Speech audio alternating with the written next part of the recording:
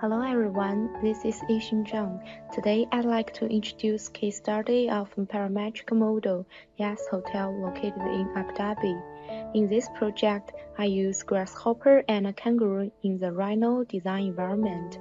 There are three parts in this video. First, I'd like to introduce how I create parametric form for this building. Basically, you can consider that the buildings mainly have four parts, building body, roofs, skin of roofs, and a corridor between the building. Each part may need a different modeling solution. For the building body, at the very beginning, I draw a simple base map in AutoCAD and import it into Rhino. Those curves are used as basic reference for my model. It controls the horizontal performance of this building. As you see, if I change the shape of this base curve, the layers controlled by this curve will be changed automatically.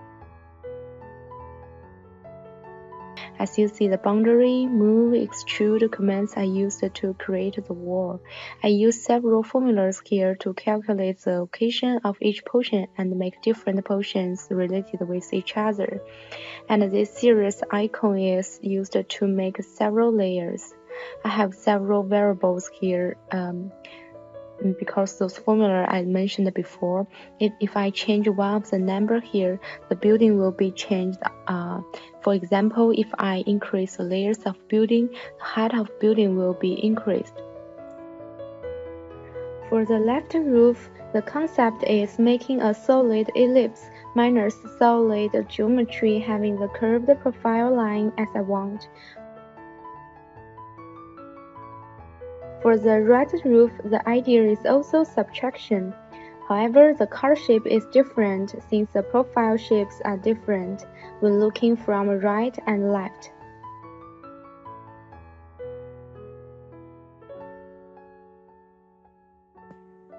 About the skin of roof, First, I use point on surface icon to find those points on the roof. I can control the number of points, which means I can change the density of curves, and I connect the point from U direction and V direction to create those lines on the rooftop. After that, I use pipe command to make the tube shape for the skin. Finally, about the corridor between buildings, the concept is projection and loft. First, I draw a circle and a rectangle as a profile shape, then project them on the surface of the walls. Therefore, I can get four profile lines and then loft them to get the structure as I want. There are various ways to make models. For the corridor, I can also use Kangaroo to make a similar structure. I need to add a spring command and install U-Force for a mesh from the XYZ direction and make suitable anchor points. Here you see I can get a similar structure, but if using this method, further edit is necessary after baking this model. Besides, I can also use wind command to create a roof.